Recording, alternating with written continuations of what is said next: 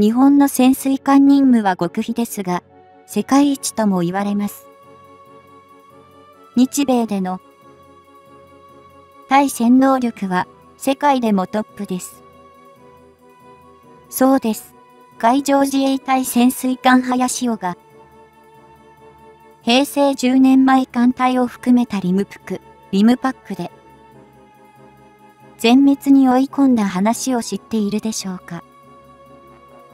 近年、急激な増刊を進める中国潜水艦ですが、まだまだ日本やアメリカには及ばないということです。では、今回、中国潜水艦ともに日本の潜水艦事情も詳しく見ていきますね。急激な潜水艦の精度は上げることはできないし、潜水艦には音門があり、中国潜水艦は特徴がありすぎるんだけどな。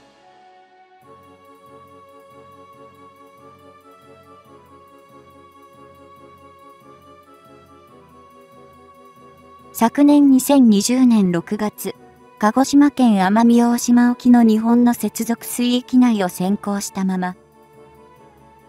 航行する中国海軍所属とおぼしき潜水艦を海上自衛隊が発見、追尾する事態が発生し、大々的に報じられた。国際法上からは、外国籍の艦艇が他国の接続水域を先行航行することまでは、禁じられてはいないのだが、無用な衝突を防ぐため、通常そうした行為を、あえて行うことは控えているのが現実だ。定義上は、ある国の領土から 22km 先までの海域が領海であり、その子から先、さらに 22km までが接続水域、その外側が排他的経済水域とされており、いわば中間の海域である。この件で、中国海軍ものと、おぼしき潜水艦の目的が何だったのかを考えると、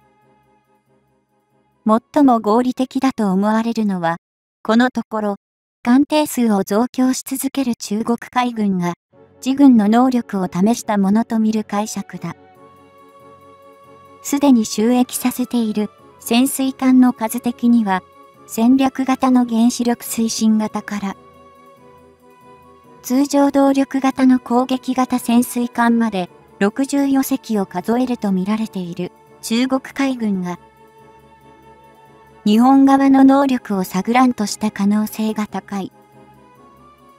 しかし、中国側の予想をはるかかに上回った海上自衛隊は、P3 や P1 などの対戦勝回帰や護衛艦、加賀などを投入し、容易にこの行動を探知してしまったというのが実情だろう。もちろん、中国側は、このような不名誉な結果に終わったことを公に、認めることもなく、その真相は、今のところ確かめる術もないが、一応国籍不明としながらも、日本政府が探知した事実のみが残った。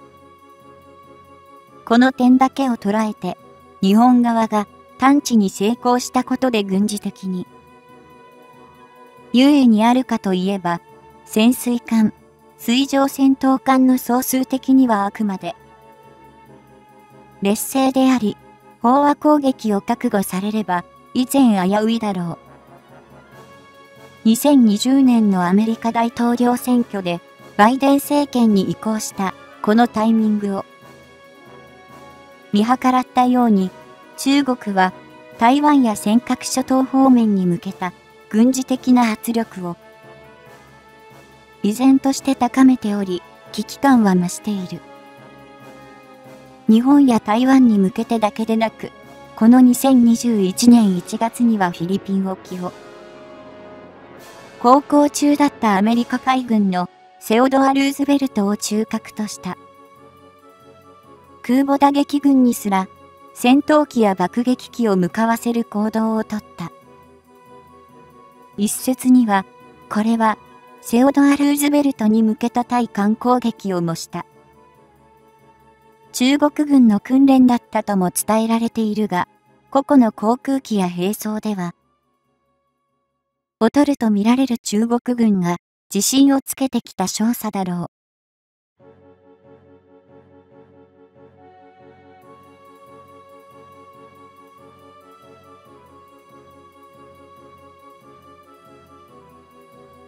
尖閣諸島に向けられた先兵たる中国海峡局は、今やアメリカの沿岸警備隊を凌駕する世界一の艦艇保有数を誇り、日本の海上保安庁では、大事が厳しいほどの準軍事組織に変貌している。中国がその気になれば、尖閣諸島への上陸は容易であり、日本側もいざという場合に備えて、陸上自衛隊に水陸機動団を発足させてはいるが、一度上陸を許せば、奪還は非常に困難となるだろう。そのため、中国側の艦艇の尖閣諸島への接近阻止こそがまず第一の優先事項になると思われるのだが、昨年浸水した大芸を加えてようやく当面の目標であった22隻の潜水艦体制が鍵と言えよう。対戦勝海能力は、これまで見てきたように、高水準なレベルを持つ。海上自衛隊だが、中国のように、数に物を言わせた侵攻を起とされた場合、防ぎきれるのかは、何とも断言しがたい。日本も中国も、昨今の例に漏れず、近代的な海戦での実戦経験は、ほとんどないが、軍事上の事例としては、1982年に発生した。フォークランド紛争を両国の関係者共に研究していると言われている。ご存知のように、フォークランド紛争はイギリス領である。フォークランド諸島をアルゼンチンが吸収、一旦占領したものの、イギリスの反撃によって奪還され、終了を見た戦争だった。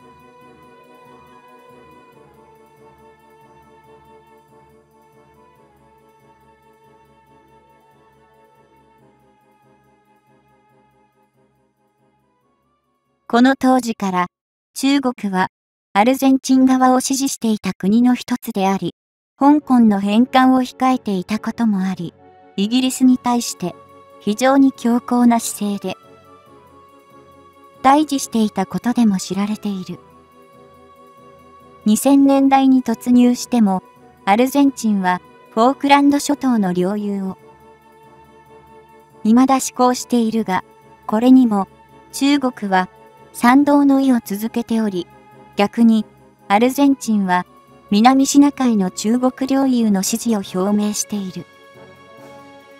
こうした両国の利害関係の結びつきは、2015年には中国の建造する056型コルベットをアルゼンチンが購入を決め、その他に戦闘旗や歩兵戦闘車などの兵器輸入でも拡大が続けられている。最終的に、フォークランド紛争は、イギリスの勝利に終わったものの、艦艇の損害数を考慮すれば、同国の方が大きな損害を被っており、一方的な勝利とは言いづらいものだった。具体的には、アルゼンチン側が一隻の巡洋艦を失ったのに比して、イギリス側は2隻の駆逐艦、2隻のフリゲート艦、一隻の揚陸艦島を沈められており、むしろ艦艇の損害では上回ってさえいた。現在のイギリスは仮に今フォークランド紛争が勃発するとしたならば中国からの兵器調達で増強されたアルゼンチン側に勝利することは非常に困難だと認めている。